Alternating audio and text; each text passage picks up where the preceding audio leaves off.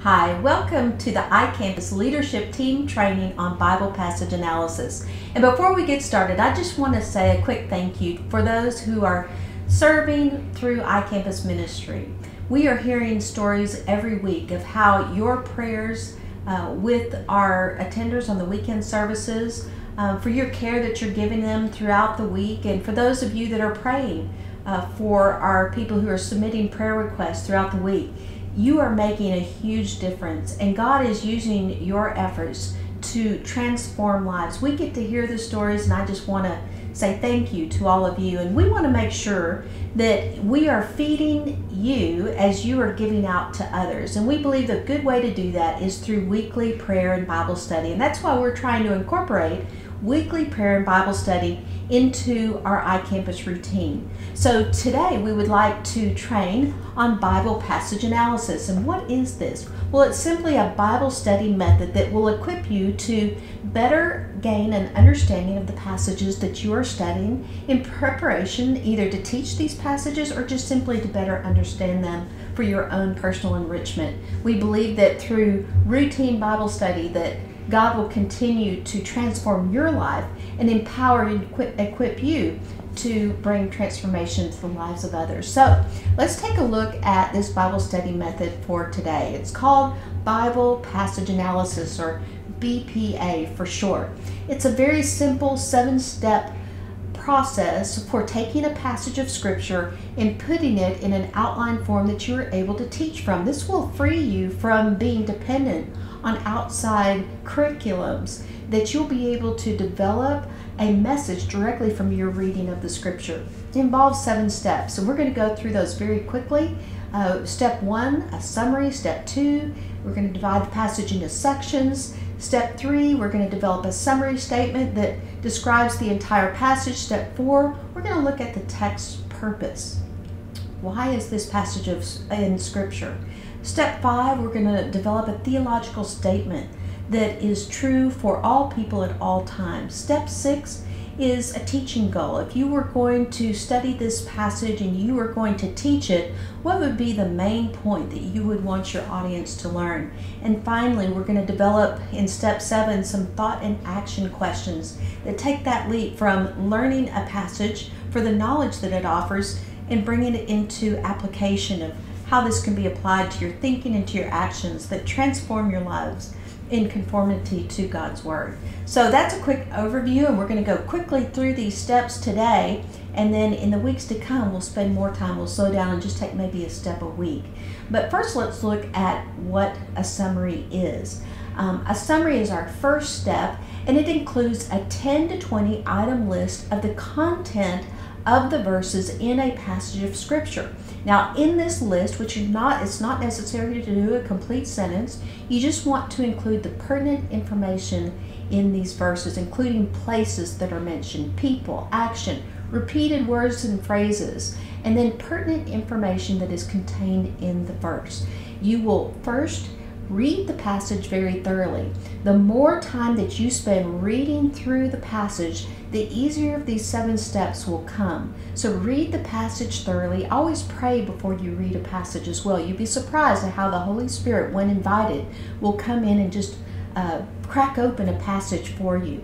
And then as you're reading, you may want to just make little marks in your little notations in the margin of your Bible, grouping the verses into a 10 to 20 itemized list. We want at least 10, no more than 20 groupings of these verses. And then beside each grouping, you want to list keywords that describe the content of the verse. You want to use words that directly are in the passage and draw those now.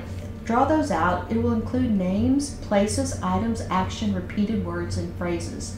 Now keep in mind that this step is not supposed to be an interpretation. This is observing what the passage says and recording that in a summary form that will allow you to just at a quick glance get an overview of the passage. You don't need to use complete sentences and again, warning, do not interpret during this step. Today we're going to take a look at 2 Timothy 3. So if you have your Bibles, open up your Bibles to 2 Timothy chapter 3. This is a great passage that will explain too why it's necessary for us to study Scripture when we're serving the Lord, because it is through the study of Scripture that we're equipped for every good work. So let's begin this process of BPA by first reading through the passage. So let's begin with verse 1. And Paul says, But realize this, that in the last days difficult times will come. For men will be lovers of self, lovers of money, boastful, arrogant, revilers, disobedient to parents, ungrateful, unholy, unloving, irreconcilable, malicious gossips, without self control, brutal, haters of good, treacherous, reckless, conceited, lovers of pleasure rather than lovers of God, holding to a form of godliness, although they have denied its power Avoid such men as these, for among them are those who enter into households and captivate weak women, weighed down with sins, led on by various impulses, always learning and never able to come to the knowledge of the truth. Just as Jannes and Jambres opposed Moses, so these men also opposed the truth, men of depraved mind, rejected in regard to the faith. But they will not make further progress, for their folly will be obvious to all, just as Jannes and Jambres' folly was also. Now, you followed my teaching, conduct, purpose, faith, patience, love, perseverance, persecutions, and sufferings, such as happened to me at Antioch, at Iconium, and at Lystra, what persecutions I endured, and out of them all the Lord rescued me. Indeed, all who desire to live godly in Christ Jesus will be persecuted. But evil men and impostors will proceed from bad to worse, deceiving and being deceived. You, however, continue in the things you have learned and become convinced of, knowing from whom you have learned them, and that from childhood you have known the sacred writings, which are able to give you the wisdom that leads to salvation through faith, which is in Christ Jesus. All scripture is inspired by God and profitable for teaching, for reproof, for correction, for training in righteousness, so that the man of God may be adequate, equipped for every good work. So, this is the passage that we're going to be looking at today, which really does explain why we need to be studying Scripture in preparation for the good work that God has called us to do. So, in order to do a summary of this passage, we're going to take these verses and we're going to group them. Now, this is a short passage, only 17 verses, so we can uh, we don't have to group the verses together as much as we would a lar- longer passage. Uh, so, in this list, I have verse 1 by itself, and in its summary, realize in last days difficult times will come. And then I have in the second item three verses group, verses 2 to 4. Men will be lovers of self, money, boastful, arrogant, revilers, disobedient, ungrateful, unholy, unloving, irreconcilable gossips, without self control, brutal, haters of good. And then in verse 5, holding form of godliness, have denied its power, avoid such men. Do you see how I'm just taking those key phrases? Not complete sentence, just lists. Um, then in verse 6, enter into households, captivate weak women with sins, led by impulses. Verse 7 always learning, never come to knowledge of truth. Verse 8 Jannes, Jambres opposed Moses. These men opposed truth, depraved mind rejected. Verse 9 No further progress. Folly will be obvious. Jannes, Jambres' folly was also. And then I have two verses grouped, 10 and 11. You'll kind of see that sometimes verses just naturally go together. And when they do, you want to group those together. Um, verses 10 and 11, you followed my teaching, conduct, purpose, faith, patience, love, perseverance, persecution, sufferings, as happened at Antioch, Iconium, Lystra, persecutions endured, Lord rescued me. then um, in verse 12, all who desire to live godly in Jesus will be persecuted. Verse 13, evil impostors will proceed to worse, deceiving, deceive. Those are key words just pulled from these verses. Verse 14 Continue in things learned, convinced of, knowing from whom learned. Verse 15 From childhood, known sacred writings, give wisdom leads to salvation.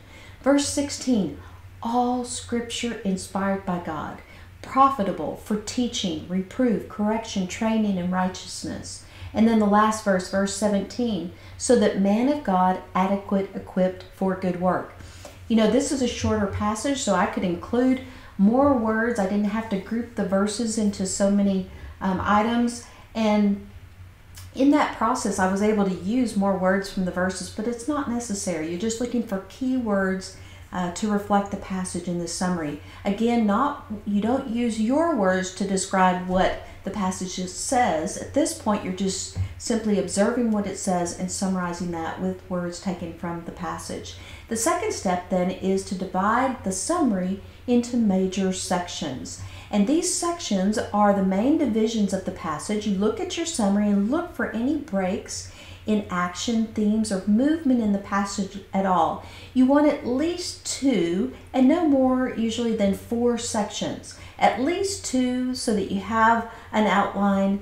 Um, no more than four because you're going to be teaching from this outline, and once you get beyond four points, you're going to lose your audience. And so, two to four sections is a good rule of thumb and each section should be expressed by a complete sentence that summarizes the content of each major section. So you want to look at your summary, look for a break, and then use a complete sentence to summarize that section. And again, in this step, warning, do not interpret. This is not a point where you're wanting to interpret what it says. Instead, you're wanting to, as closely as possible, restate what it says, often using as often as possible the words from the passage. Um, so when I look at 2 Timothy 3, I notice that the first nine verses are talking about what is going to happen in these last days when these godless men um, are uh, deceiving themselves, being deceived. It gives us a lot of things we can draw from here. Men, men will be lovers of self, money boastful, arrogant, uh, holding to a form of godliness, denying its power. And in verse 9, that section comes to completion. No further progress, folly will be obvious. Jannes Jambres folly was also. Now, notice in the beginning of verse 10, Paul now moves to directly um, direct his uh, comments to Timothy, giving Timothy as an example of what godliness looks like he says to Timothy, You followed my teaching, conduct, purpose, faith, patience, love, perseverance, persecutions. And he goes on to describe what Timothy has done, which is in contrast with the godless men have done. And then he goes on to discuss Scripture and the purpose of it, exhorting Timothy to continue in the sacred writings and what he has known since childhood. And so we have two major sections in this passage. And then we want to develop just a, a brief, complete sentence that de- describes each section. So in verses 1 to 9, we have In the last days, difficult times will come when depraved men oppose the truth. That's just a, a summary of what Paul has discussed in those nine verses. In the second section, uh, a summary sentence could read The godly will be persecuted, but they should continue in the knowledge of Scripture which is inspired by God, so to be equipped for every good work. Now, if you notice in these section some um, sentences, I do use words that are drawn from the passage itself. There's not a lot of interpretation going on in these first two steps or in the third step, which is our summary statement. Now, the summary statement is going to be a complete 10 to 15 word sentence that summarizes the content of the passage. And so with this, it's going to be a one short sentence that will describe the content of the entire passage. So you'll want to take, now we've looked at the summary, which is a broader um, summary, and we've gone down to the sections. And if you look at your sections, you should be able to now draw a single sentence that expresses what the entire passage uh, is speaking of. And so at this point, again, warning do not do any interpretation. You are simply wanting to observe what is there and reflect that in your outline. So for 2 Timothy 3, we could say, while the depraved oppose truth, that would reflect the first nine verses. Secondly, the second section, the godly are to be equipped with knowledge of inspired scripture. That one sentence fairly represents the content of those 17 verses. And so, in these first three steps, we've gone from our summary to our sections to our summary statement. and we've gone from broad to narrow. And now in verses or in steps four through seven, we're going to go from observing the passage to interpreting the passage. Or if you want to look at it a different way, uh, we're going to look at, we're not teaching in those first three steps, but in steps four to seven, you're going to be developing more of what you would be teaching from this passage. You're going to be interpreting, you're going to be applying what it says in ways that would transform your life and the lives of those that you would be teaching. And so um, the next step is the text purpose. And what we're looking at in the text purpose statement is a statement that explains the purpose of the entire passage. This is an invitation to ask why. Why did God uh, divinely breathe this particular passage into existence? What does it contribute to the greater whole of Scripture, to uh, the book that it's written in? How does this contribute to Paul's letter to Timothy? And then how does that contribute to the New Testament or to the entire Bible? We want to just really ask why. What is the purpose of this particular passage? And so if we look at again 2 Timothy 3, we might say that Paul exhorts Timothy to continue in the teachings of inspired scripture. That first part of the sentence really is still just observation. It's a summary of what Paul is exhorting Timothy to do in order that there's our purpose statement in order that every purpose statement should have that phrase in order that and here that follows is the purpose. He will not become deceived in the last difficult days when the depraved will oppose the truth. And that is a, a statement that applies to us because we know of many people who can be described by those first nine verses. And so we would want to continue in the teachings of inspired scripture in order that we will not become deceived in the last difficult days which are upon us when there are the depraved who attempt to oppose the truth of God. And so that is our first four steps, which prepare us then for the fifth step, which is the theological statement.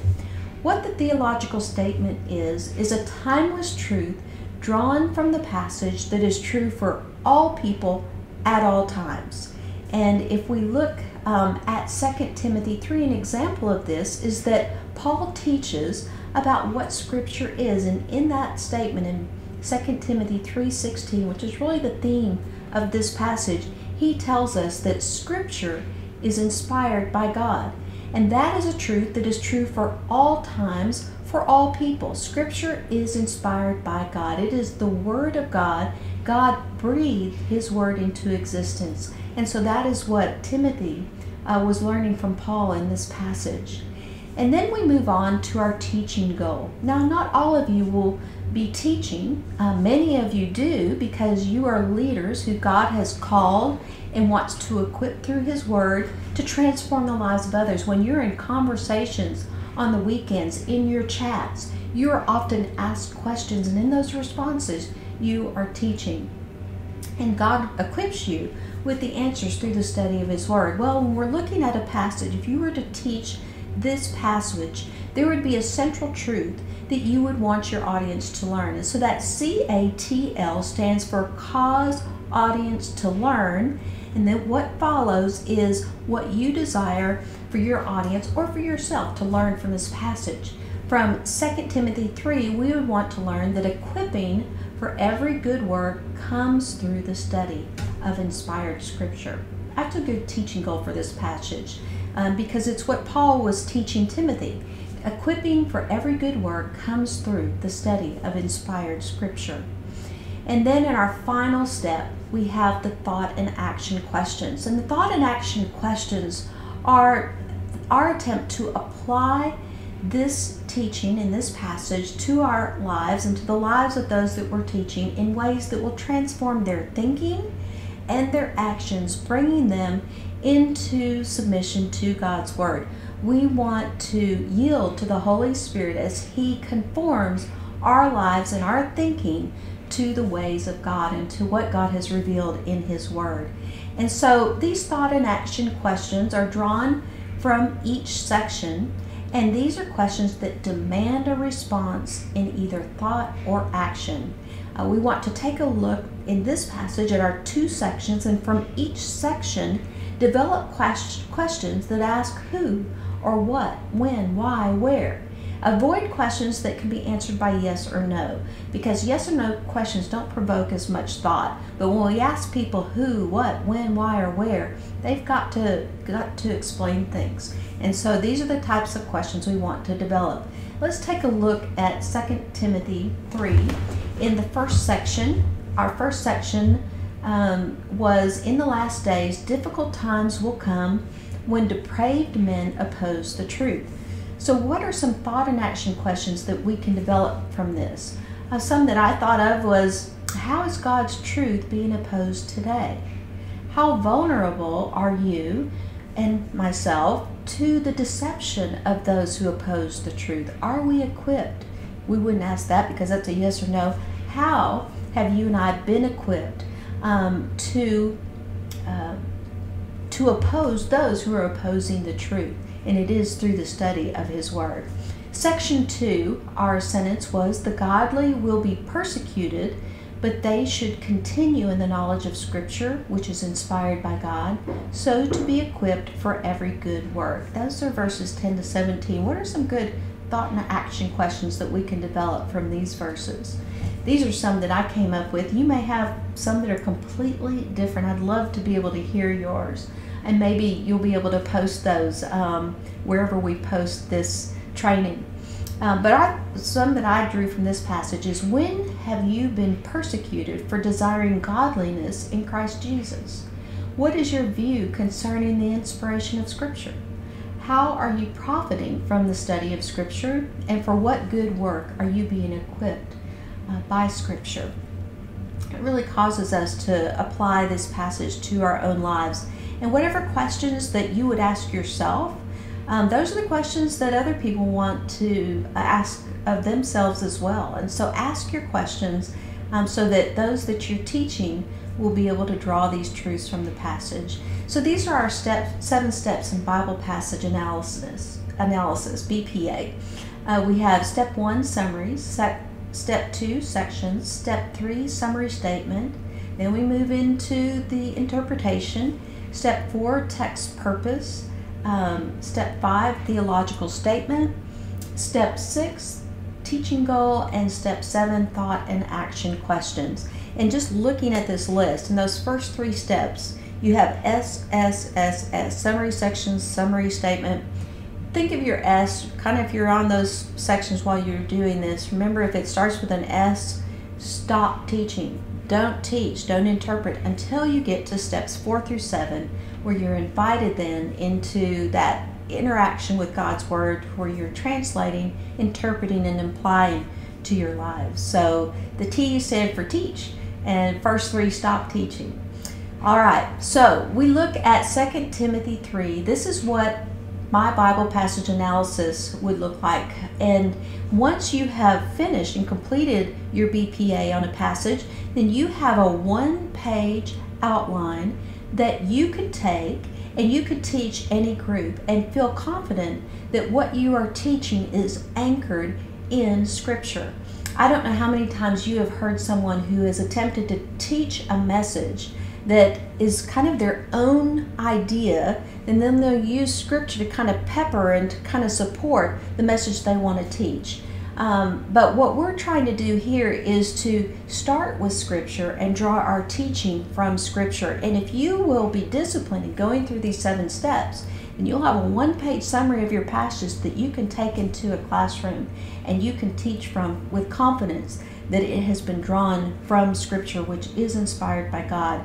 And there is power and authority in any time that you're teaching a message that is anchored in God's Word. One of the things that stood out to me in this passage, and as you're going through this process, there will be scriptures that will jump out and really speak to you personally. And pay attention to that because that's the Holy Spirit's way of drawing your attention to a particular truth in a passage. For me, in 2 Timothy 3, it was in verses 16 and 17, where it says, All scripture is inspired by God and profitable for teaching, for reproof, for correction, for training in righteousness, so that the man of God may be adequate, equipped for every good work. if you look at the word inspired, it says all scripture is inspired. In Greek, and you do not need to know Greek to be able to do BPA for sure, but I happen to be familiar a little bit with Greek and like to work with that. And this particular word really stood out to me the word inspired. And in Greek, the word that is used is theopneustos. Theopneustos is a compound word in Greek that only appears one time in Scripture, and this is where it appears, and it is describing Scripture itself. And what theopneustos, in our English translations, it says inspired, but the actual word is a compound word. Theos is is God in Greek, and neustos would be breathed. And so, what this passage is telling us is that all scripture is God breathed. God has breathed His word into existence for you and for me so that we can become equipped for every good work that He has called us to do. God has called you to a great work that He is doing in and through our efforts at iCampus. We are reaching people with the gospel of Christ, sharing in the ministry of God's Word. And it is God's desire for us to become better stewards of His Word. And I truly believe that if you and I will be disciplined in uh, preparing ourselves every week through the study of Scripture using this method, these simple seven steps, then we will become better stewards of God's Word and better equipped to go out for the good work that He has called us to do. So I hope that you will participate with us in this effort. Let's co- close up with a word of prayer.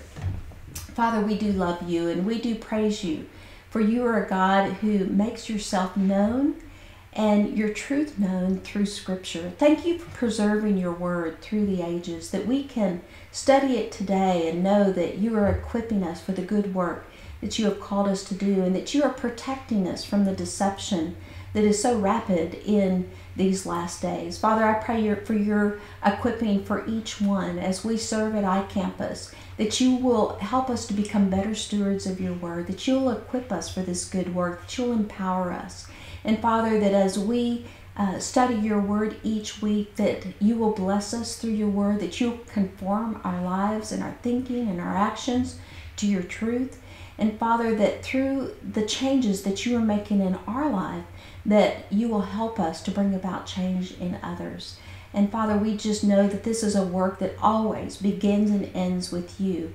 And it is to the praise of your glory that we are here and that we have the privilege of studying your word. And I pray that you will help us to make, make the best use of this opportunity that you have given us to study together. So we commit this project to you, we commit this ministry to you, and our efforts to serve you through it. And we give you the glory, honor, and praise. And it's in Jesus' name we pray. Amen.